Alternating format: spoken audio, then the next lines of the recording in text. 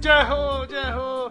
ਲੱਖ ਨਿਰੰਜਨ। ਭਾਈ ਬੀਬਾ ਖੈਰ ਪਾ ਬਾਬਿਆਂ ਨੂੰ। ਬਾਬਾ ਜੀ ਮੇਰੇ ਹੱਥ ਲਿਬੜੇ ਹੋਏ ਆ ਤੁਸੀਂ ਅੱਗੇ ਜਾਇਓ ਫੇਰ ਆ ਜਿਓ। ਬੀਬਾ ਬਾਬਿਆਂ ਨੂੰ ਭੁੱਖ ਲੱਗੀ ਹੋਈ ਆ। ਕੋਈ ਆਟਾ ਤੇਲ ਨੂਨ ਮਿਰਚ ਕੁਝ ਵੀ ਪਿਆਜ ਦੇ ਦੇ। ਮੈਂ ਦੇ ਦਾਂਗੀ ਤੁਸੀਂ ਅੱਗੇ ਜਾਇਓ ਚੰਗਾ ਭਾਈ ਅੱਗੋਂ ਲੈ ਲੈਂਦੇ ਆ। ਲੱਖ ਨਿਰੰਜਨ।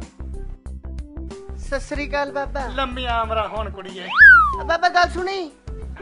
ਹਾਂ ਸਾਡੇ ਭਾਈ ਘਰ ਤੇ। ਲਿਆਇਆ ਬਾਬਾ? ਮੈਂ ਗਿਆ ਤਾਂ ਸੀ ਭਾਈ ਤੁਹਾਡੇ ਘਰੇ ਅੱਛਾ। ਪਰ ਤੁਹਾਡੀ ਨੂੰਹ ਨੇ ਜਵਾਬ ਦਿੱਤਾ। ਹੈ? ਜਵਾਬ ਦੇਤਾ? ਆ ਕਹਿੰਦੀ ਫੇਰ ਆ ਜੀ। ਹਾਏ ਮੈਂ ਮਰ ਗਈ। ਨਹੀਂ ਬਾਬਾ ਜੀ ਨੂੰ ਜਵਾਬ ਦੇਤਾ। ਹਾਏ ਨਹੀਂ ਕਰਮਾ ਸੜੀ ਦੇ ਕੀੜੇ ਪੈਣੇ ਨੇ ਬਾਬਾ ਜੀ। ਚੱਲ ਬਾਬਾ ਇਹ ਕਿਵੇਂ ਜਵਾਬ ਦੇਤਾ?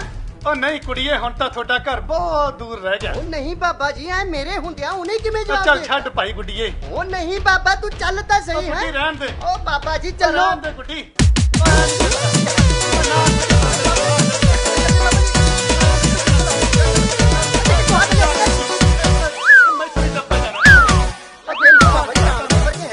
ਉਹ ਗੁੱਡੀ ਮੇਰੀ ਗੱਲ ਸੁਣ ਆ ਮੇਰੇ ਬੰਦ ਕਰੋ ਦੇਖ ਨਾ ਕੁੜੀ ਇੱਕ ਮਿੰਟ ਮੇਰਾ ਫੋਟੋ ਡਿੱਗਦਾ ਹੈ ਕੰਡਾ ਨੀ ਸਾਂਭਦਾ ਬਾਬਾ। ਬਾਬਾ ਇਹਨੇ ਬਾਬਾ ਬਾਬਾ ਬਾਬਾ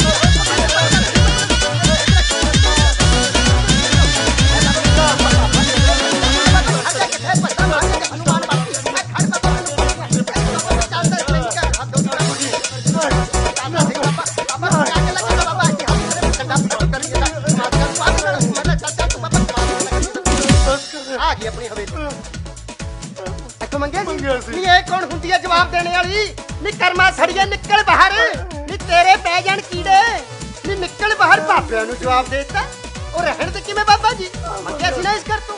ਨੀ ਇਹ ਕੌਣ ਹੁੰਦੀ ਹੈ ਜਵਾਬ ਦੇਣੇ ਵਾਲੀ? ਤੇਰੇ ਪੈ ਜਾਣ ਕੀੜੇ। ਮੈਂ ਇਸ ਘਰ ਦੀ ਮਾਲਕਣ। ਮੈਂ ਦਊਂਗੀ ਜਵਾਬ। ਜਾ ਬਾਬਾ?